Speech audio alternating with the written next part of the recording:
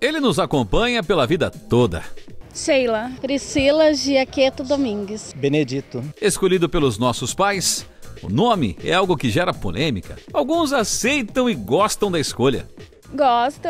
Era para ser Keila, só que no cartório não aceitaram. Aí minha mãe falou, então coloca Sheila. Outros, como a Priscila e o Benedito, nem tanto. Não. Não. O IBGE divulgou uma lista com os 10 nomes mais populares entre os brasileiros. Maria lidera com folga.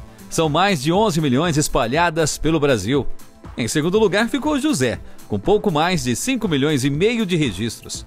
Bom, se você acha o seu nome estranho, imagina Xerox do Brasil. 1, 2, 3 de Oliveira 4. Ou então Ford da Silva Chevrolet. São nomes verdadeiros, que devido a uma lei, isso não existe mais, né, Adriana? Isso mesmo. A Adriana é chefe de um cartório, a gente veio saber os nomes mais estranhos que as pessoas já vieram registrar aqui. Ela nos mostrou os livros centenários que ainda guardam por aqui. O livro é datado de quando esse livro aqui? Tem uma Esse ideia? livro é de 1890.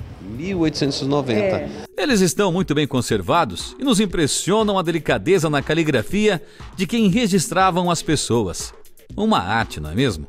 Ainda de acordo com a IBGE, os nomes em que décadas passadas ganharam destaques, como Romário e Ronaldo, despencaram. Já o sobrenome de um ídolo do futebol argentino disparou: Riquelme. Pelo visto, o resultado do 7 a 1 contra a Alemanha fez muita gente mudar de ideia, não é?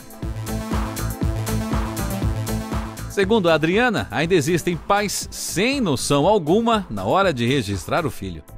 Quais nomes que você já teve que barrar aqui? Por exemplo, Los Angeles. é, aí a gente convenceu o pai, explicou o que, que era, ele acabou registrando com outro nome. Teve uma outra pessoa que queria é, McLaren, e também a gente orientou, acabou desistindo. Já teve casos que, que os pais insistiram nisso, aí nós mandamos um requerimento para a juíza corregedora e a juíza, no caso, orientou a não registrar. Esse é o procedimento. Isso, se a pessoa insistir. Mas, na verdade, a gente tenta convencer no balcão que aquele nome não é legal, que não é, não é nome ou que é sobrenome.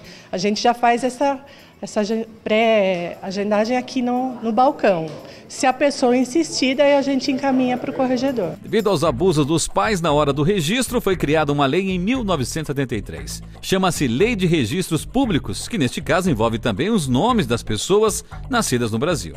A lei proíbe que o pessoal do cartório registre nomes estranhos ou então com duplo sentido. Uma rápida pesquisa no site do IBGE e descobrimos que o nome Sofia, como o da pequena filhinha no colo da Priscila, continua despertando paixão pelas famílias dentro e fora do Brasil. Já que falamos em Brasil, mais de 1.100 pessoas têm a honra de carregar esse nome. Outros 22 foram registrados com o nome de gringo. Ricos são 161 e nenhum registrado como pobre.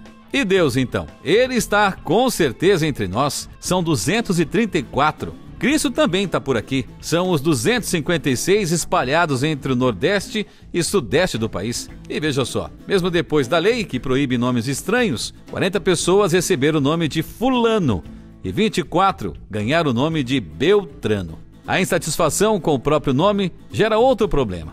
A tentativa de mudar através da lei aquilo que os pais escolheram com carinho, como é o caso do Benedito. Já tentei. Não conseguiu? Não. Mesmo quando eu casei, que teve a mudança, insisti também e não conseguia. A mudança de nome é permitida no país, mas não é tão simples assim o processo, como explica aí a Adriana. Adriana, as pessoas que de repente têm um nome registrado e, e é motivo de chacota, piada, existe uma forma de mudar isso? Existe, existe. Ah, Na verdade, assim, ah, com a maioridade, com 18 anos, a própria pessoa pode requerer isso em cartório. Ela tem que provar isso, juntar a documentação e a gente monta um processo e manda para o juiz corregedor.